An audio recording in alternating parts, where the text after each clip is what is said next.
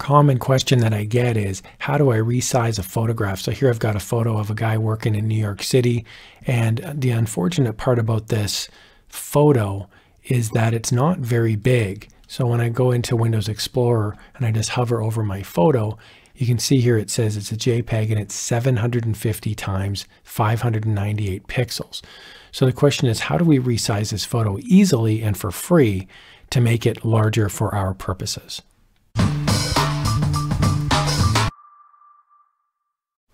Easy free way number one is to use Inkscape. Inkscape is a free vector software tool, but you can also use it to resize photos pretty easily. So I'm just going to go to File and Open, and I'm going to plop my image into Inkscape.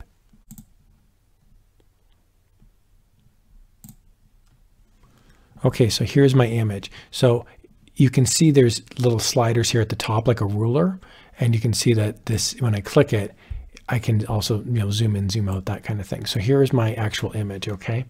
So when I go to export, export this document or selection as a PNG, I'm going to get my image sizes here. And I'm getting that because I'm clicking on the image itself.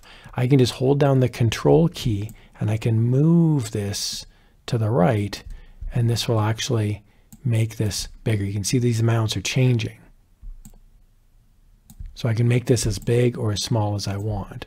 So now my width and my height are significantly larger, and then I can click the export button and that will push this out.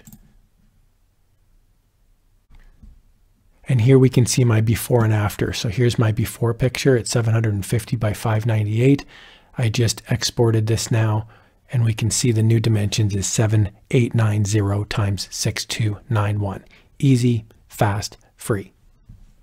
The second way you can use uh, the resize tool is with paint. And this comes right inside of Windows 10. You just type in the word paint into the search window and this paint tool will come up.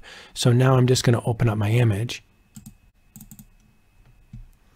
and we can see here, here's my image that I've gotten. Down at the bottom, you can see it says 750 times 598 pixels. So this is the image now. Now we can zoom in. I'm just using the scroll wheel and the control button, but that's not actually making the image larger. What you'd want to do is go right underneath the home tab. There's a home tab and a view tab. Underneath the home tab, there's a resize option. It's kind of hidden. It's right there underneath crop. And when I click on that, I can change the percentages and I can also maintain the aspect ratio. So make sure this maintain aspect, aspect ratio is turned on.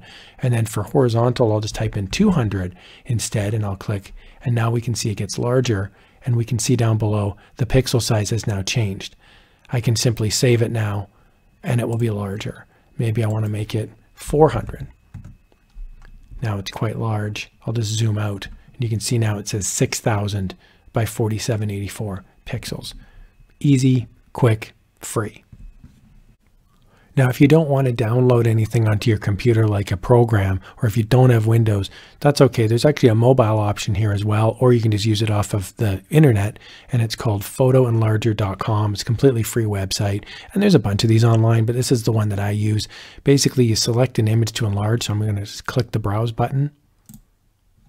I'm going to pick my little picture here that's 750 by 598. And then I just select my enlargement factor.